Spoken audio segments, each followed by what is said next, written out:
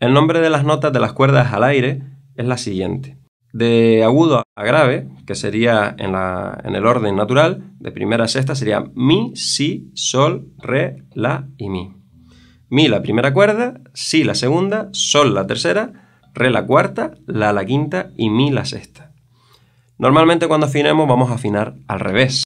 Entonces vamos a ir desde la sexta a la primera, que sería mi, la, re, sol, si, mi. Eh, yo recomiendo que esto se lo aprendan como si fuera un juego y lo digan lo más rápido posible. O sea, mi, si, sol, re, la, mi, mi, la, re, sol, si, mi.